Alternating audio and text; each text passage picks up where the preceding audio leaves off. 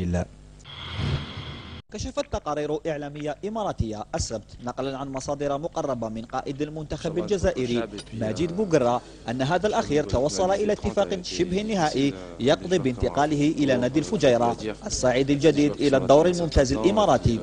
وكان نادي إمارة الفجيرة ربط قبل أسبوعين اتصالاته مع الدول الجزائري بغية تدعيم محور دفاعه وهو ما لم ينفه اللاعب في تصريحات سابقة لجريدة الإمارات اليوم واقترح النادي الإماراتي عقدا بثلاثة مواسم على الدول الجزائري دون الكشف عن الأجرة السنوية التي سيتقاضاها